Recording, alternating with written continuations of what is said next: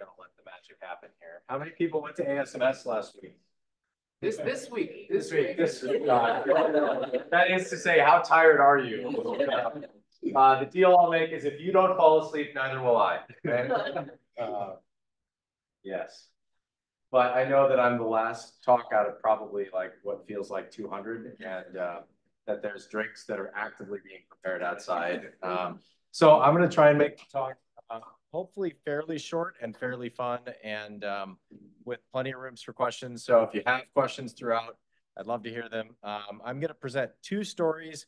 Uh, one of the things I've really appreciated today is that it's been a very diverse mix of topics. And so it's been really exciting for me after sitting through a bunch of native mass spec talks this week, I'm kind of like, it's cool to hear about oceans and, and microbes and metals and things I don't normally think about. So I've gotten some cool ideas. I hope you'll get some interesting ideas out of this. This is definitely going to be a bit different than some of the past ones. You may say, how do I know anybody here? I've never worked in Pieter Dorrestein's lab. I've never lived in California. Um, actually, it is a funny story. So I was, it was deep in the heart of the pandemic. I got tasked with teaching the undergrad analytical lab. I'd never taught an analytic like any lab course before. And um, we just got a triple quad that was donated. And I'm like, I'm going to build like an LCMS experiment for them to do. And I, I was like, but I don't know how to get them to install like freestyle on their computers. And like, how are we going to do this? So I went to Twitter as, as you did back a year or two ago. And I was like, anybody have a free program for viewing LCMS data that we could use with undergrads? And Ming said, I'm working on this cool thing, try this website. And it was perfect. Um, so it was great to get to meet Ming and Daniel and the whole team. And uh, it's been fun to kind of get to piece into some of that ecosystem. So um, it's great to meet some people here today that I'm sure I'm co-authors with, but I never met face to face. Um, so anyway, uh, enough of that. Let's talk science. Um, so uh, I've shown here, this is an image. I don't think the laser pointer is quite working. I'll use the... Change the focus. Oh, change the focus. No, I mean the the this physical. Oh, sorry, the physical laser pointer isn't working, but there's there's this. Okay, um, you may have seen like mem pictures of mem uh, membranes that look like this. Oh, here we go. Perfect. Yeah. Oh, that's really dim. Oh.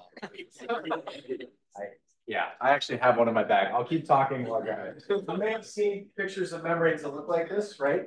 Um, you have all the lipids right in a row, right?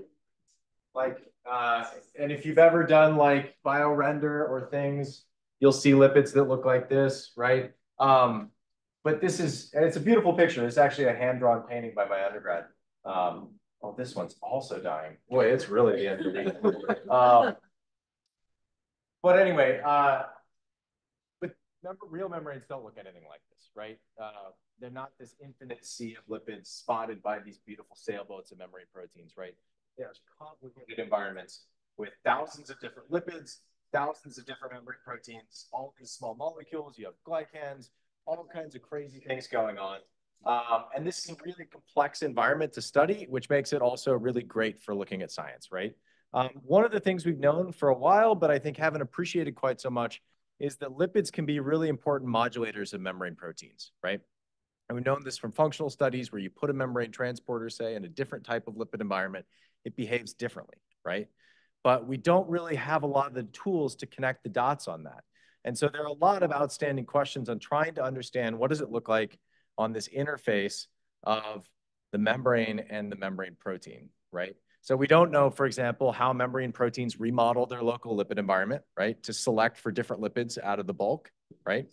We don't know how lipids affect the membrane protein structure and function, except in a couple very select examples, right? And we also don't know really where lipids are binding, right? And what those binding profiles look like. What does that selectivity look like? I think from sort of a structural perspective, which residues are involved in this binding.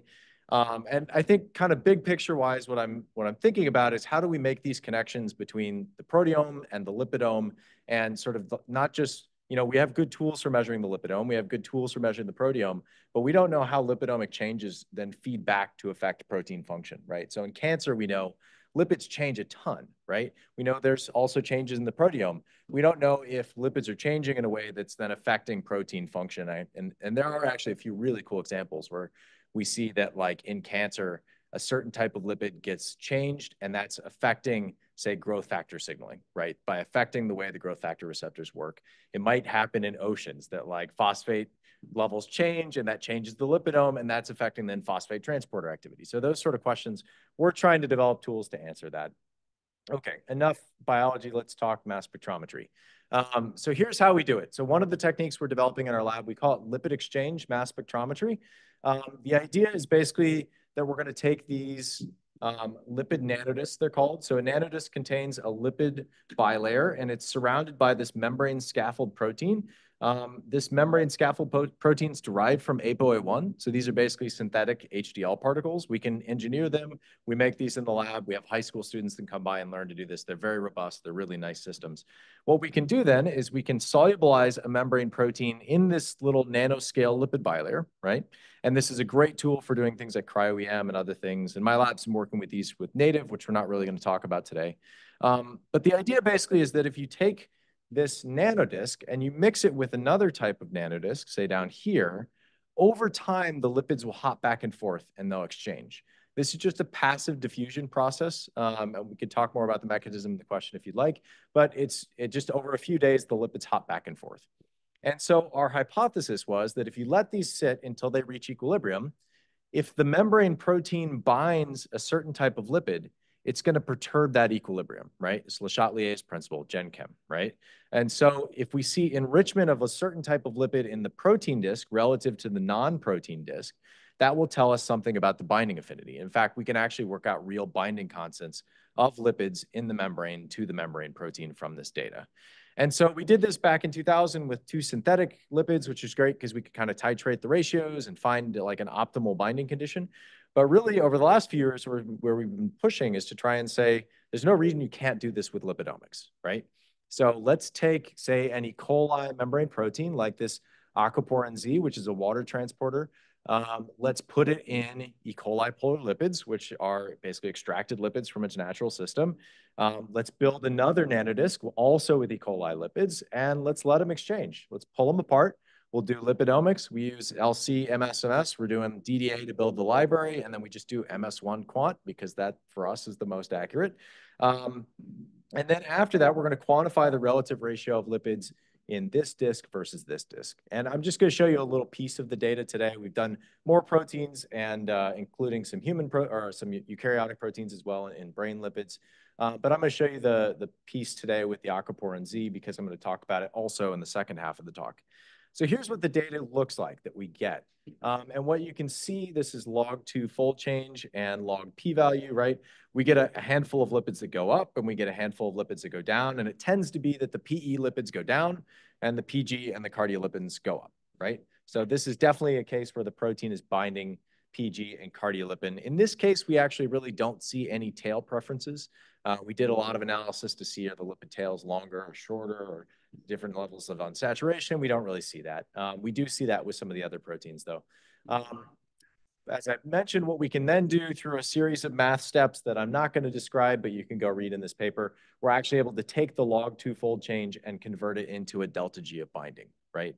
Which kind of flips the axis because uh, negative delta G means a positive affinity, right? So, but you can see it just sort of looks kind of like a flipped version of this. And we get kind of binding affinities on the order of kind of like minus two kilojoules per mole, which is actually fairly small, but it's enough to establish you know, some amount of binding specificity for this protein. And we actually know that cardiolipids are important for the function. If you take like any, a cardiolipin deficient strain of E. coli, the, this protein doesn't work as well, right?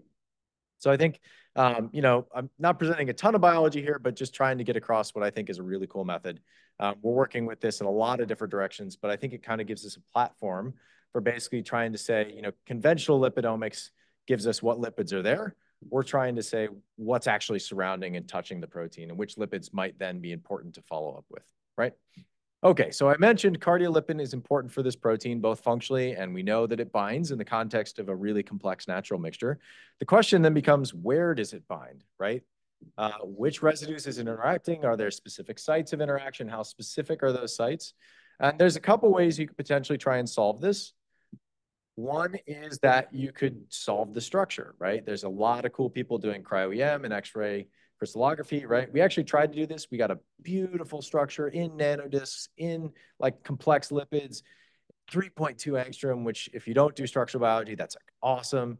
Um, zero lipids resolved, right? So great resolution of the protein, no lipids, which is to say this is a very difficult thing and you may not even get it to work even in the best case of scenarios. Another thing you can do is molecular dynamics, and we are doing some of this as a way to kind of map potential lipid binding sites. It's great, but it's limited in how complex you can do, and you kind of need to validate it, right? It's a, it's a simulation, it's not experimental data. The final thing you could do is that you could make, you know, a series of measurements where you measured in a wild type version, the KD, and then you measured in a mutant version, another KD, and then you could say, are the ratios of these two different? What's the relative affinity? Um, and you could use that to try and localize binding sites. And, and if I had an infinite number of graduate students, maybe we would do it this way, but that's a lot of work. You have to do a, a bunch of titrations. Now, error can kind of compound as you go through that process. Um, so we wanted to try and de design an experiment that was a little bit smarter um, and that took advantage of the resolution that we have in mass spectrometry.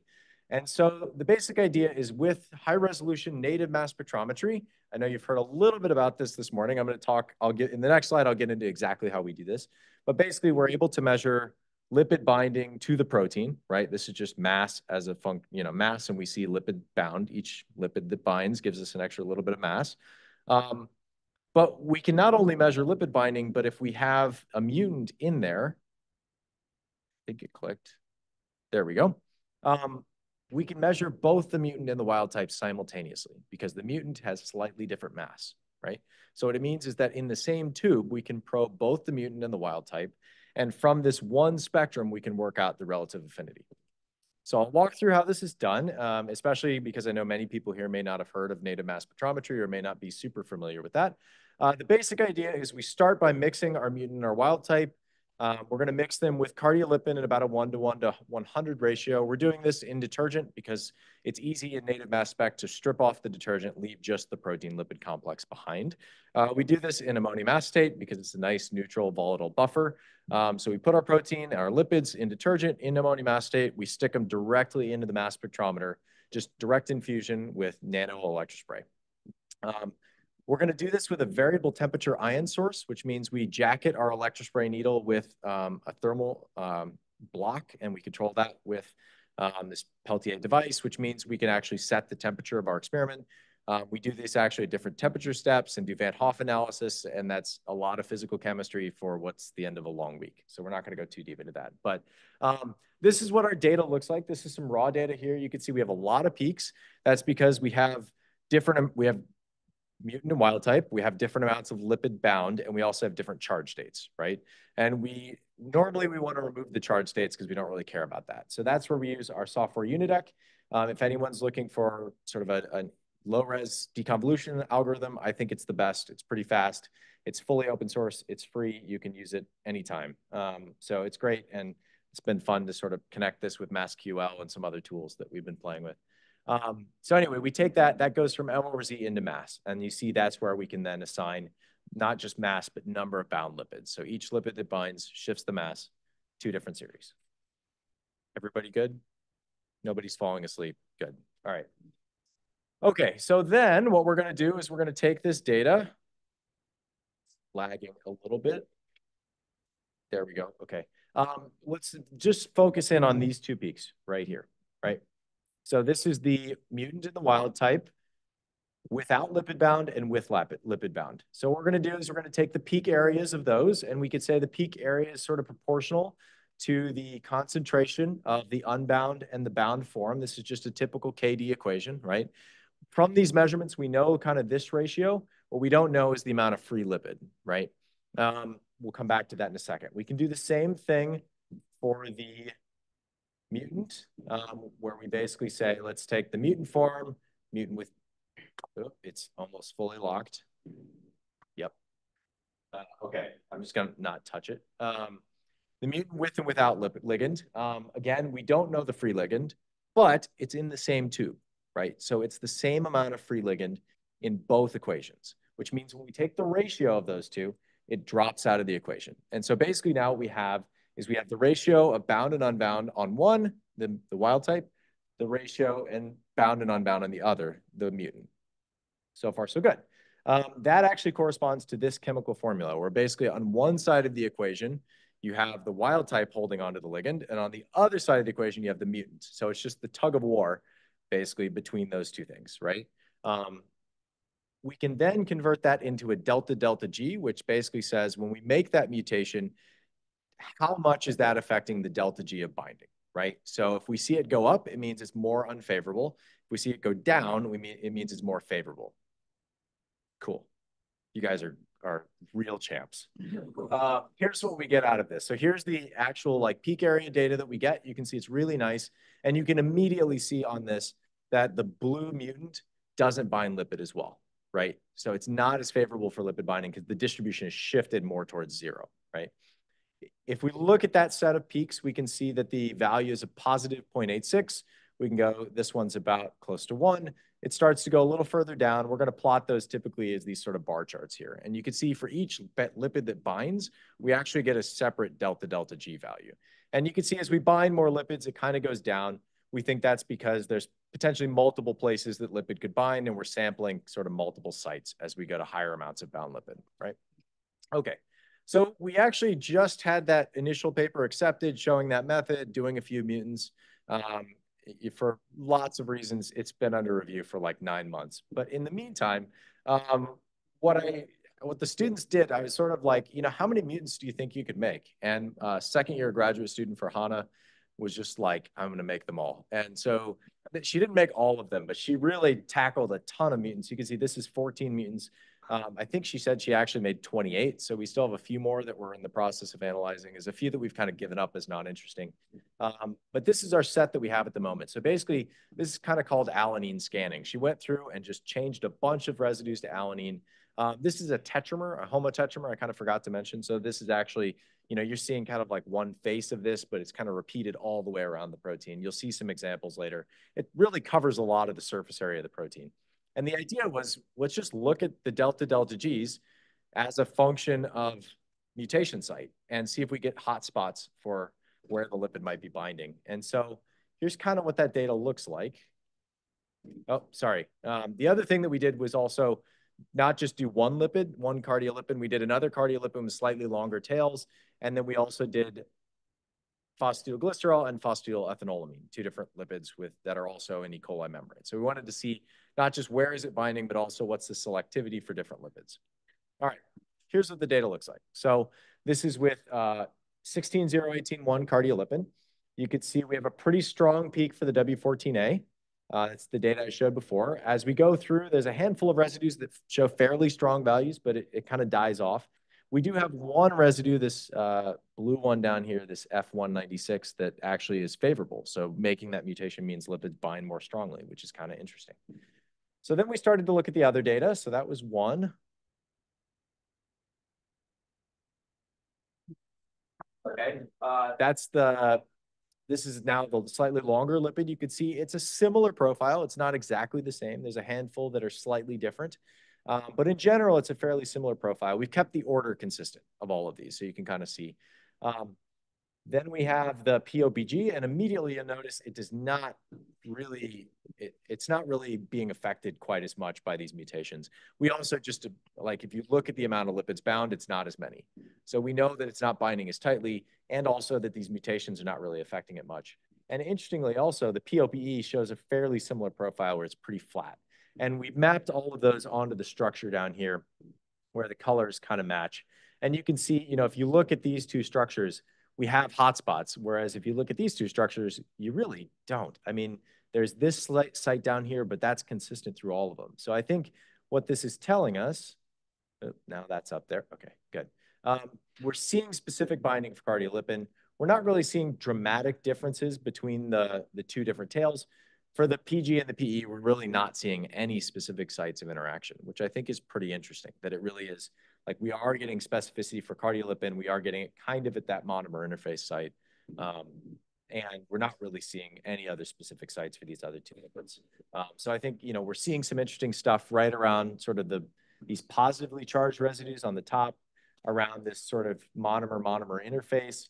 And then also there's this site down here, which we did not expect. And um, basically we're also seeing on the molecular dynamics that that seems to be lighting up and it's not really clear why. And so I think one of the interesting things we kind of went in predicting that we'd be able to say like, you know, these lysines and arginines that were positively charged were really important in binding this negatively charged cardiolipin, and we really don't see that. It's uh, actually a lot more of these hydrophobic residues are playing more of a role in a way that we really don't understand. So I think basically, you know, this is a really detailed study looking at kind of this model protein, um, but I think it's showing us that there's a lot that we don't understand about how lipids and proteins interact and what that selectivity profile looks like. And so I think hopefully going forward, some of these tools will be useful in solving other systems and trying to look at other proteins. We're always interested in trying to find new targets, uh, trying to develop different lipidomics methods to help answer these questions. Um, I think that's all I have to say. Um, I will conclude by thanking my wonderful group. Most of them were at ASMS this week, although they chose to drive back, uh, drive back yesterday. Um, so I presume they made it safe. Nobody uh, messaged this morning. Um, thanks to our collaborators and to our funding sources and uh, for the invitation to come, for everybody for, for staying awake through the talk. And I'm happy to, to answer questions and have discussion afterwards.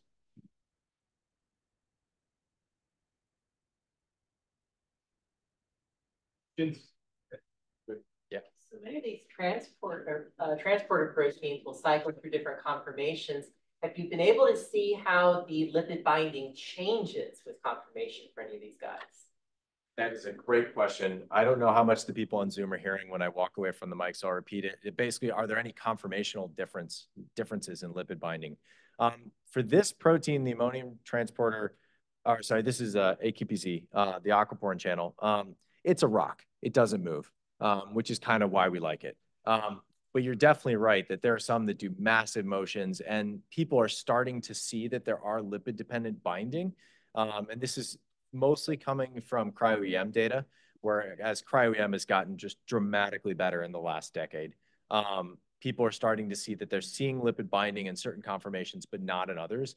Um, that's definitely hard to tell, uh, but it's hard to tell that really specifically. Um, it's something we'd like to try, and it'd be pretty easy with something like an ABC transporter to kind of lock it in because they know certain ligands lock it in one conformation versus another.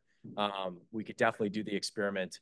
Um, it, if you could covalently modify them, you could even exchange two different conformation, one conformation against each and against the other, and then measure the the lipid exchange between those, which would be really cool. Um, yeah, I have a colleague working on those. I should bug him when he get when I get back and make him give me some protein. Oh, a little bit slightly different question. So the recent uh, development in the like the protein structural tools such as AlphaFold, for example. Yeah. Uh, did you see that feasibility of using those tools for protein lipid binding, or have you compared it completely? Yeah. So the question's about whether AlphaFold will be useful. I think um, I know I haven't checked out AlphaFold 3 much. I know there's some tools for looking at like PTMs and ligand binding. Um, I don't think they have much about lipid binding in there uh, built into the models. Um, really, that's where molecular dynamics is is shines because you can put the protein in a somewhat complex mixture, like a multi-component mixture, and let it sort of equilibrate. And we're doing some of those studies. Um, the GPU processing has gotten a lot better. Like when I was in my postdoc lab, I was taking like three weeks on like a full allocation of the supercomputer and and now it takes three days and it on the GPUs, it's amazing how fast it's gotten. Um, but I still think that even then, the problem with molecular dynamics is sampling, right? So you can only sample, you know, so much, and it really depends a lot on your initial random configuration of where the lipids start is kind of where they end up. Um, and so that's where I think, um, certainly for natural lipid mixtures, you're never going to be able to simulate it with enough time. But where it's really useful is validating these secondary studies, or, or not really validating, but helping to complement the the studies of the mutagenesis, where we know what lipid we're looking for. We want to see where it binds. It's great for that. Yeah. Yeah. Well, more a question about the nature of the binding. Because if you look at your energies, you're yeah. looking at pretty much most of the time the most uh, the strongest interactions are one K kcal. Yeah. It's not even a hydrogen bond. Yeah. It's super weak, right? So, so what are your thoughts there of how they actually interact? Yeah. I mean, I think a lot of it is because, and this is something I think we didn't really appreciate. It's such a competitive environment, right? And like the lipids are fairly similar in structure. So like one lipid can just as easily replace another. And when you have that built into the experiment, like you see that any lipid binding site is not going to be 100% occupied with one ligand, right? It's always a competition. It's always partial specificity. Um, and so I, honestly, I don't think we have the tool. I don't think we have the language as biochemists to describe what that looks like. And like, I don't think our, our classic ways of K, like describing KDs make sense. Uh, yeah. So th that is to say, Distance ion-ion interactions. Uh, yeah. I, yeah, that plays a role. I mean, I, we know that like fluidity plays a role in all of these things, and um, and somehow yet there there are functional differences. So I don't know. I think it that I my I think it's um it's less binary and more analog, right? So it really is sort of subtle shades of gray and how it's affecting membrane proteins. And I think it's maybe a way that biology is sort of fine tuning things under the surface or with under the sea, maybe. Um, so yeah, but I, I don't know. I think it's something we, it's, it's a cool because even the fundamentals, I think we don't know how to talk about in a intelligent way, or maybe it's just me. Yeah.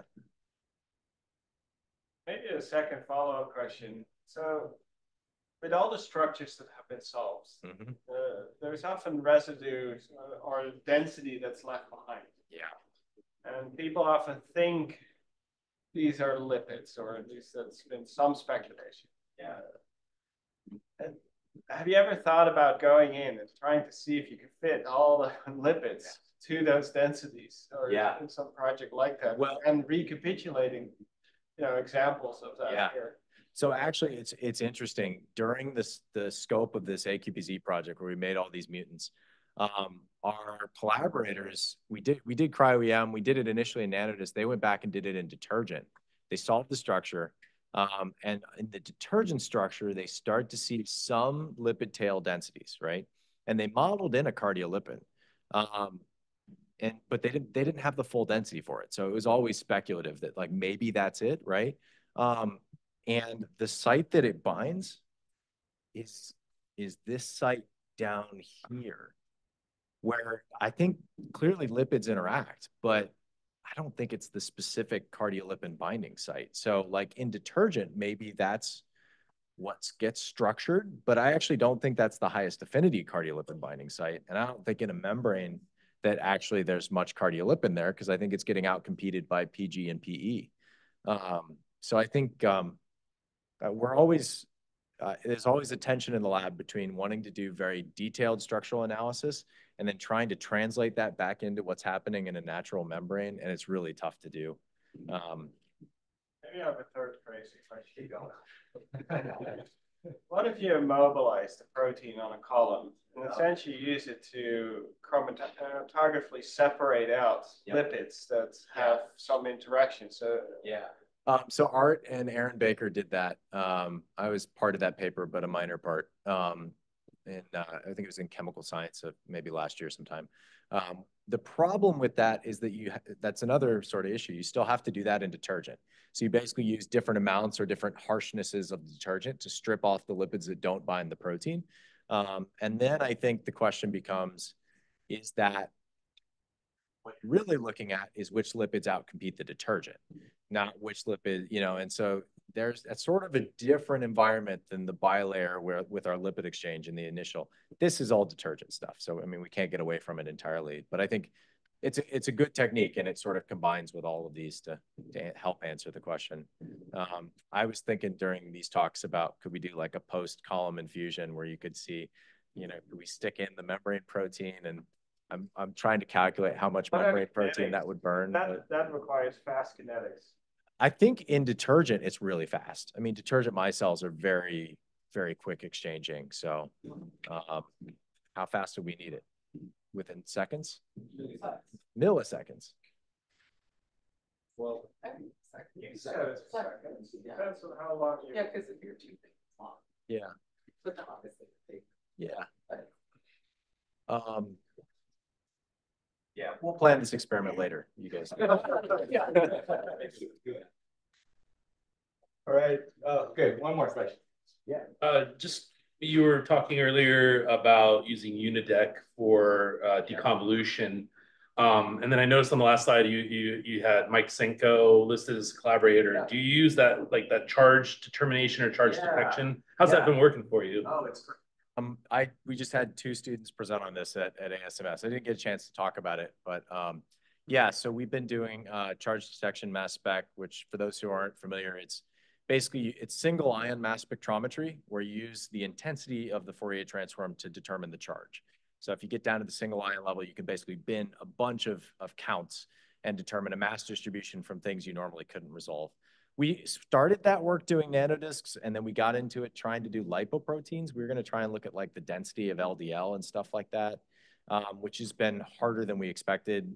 And, um, but, um, the really, I'm, guys, I'm such a nerd. Um, the, the really cool thing that we've been doing was, is Hadamard transform sec on the front where we do multiplexed sec injections and then demultiplex them after. So for those who are younger than 30, um, you inject a bunch of peaks in a specific pattern and you can encode the sequence and then decode it afterwards. So basically what it means is that rather than waiting for most of your chromatography to, for the peak to come out, you have peaks just constantly coming out and you can really improve the duty cycle.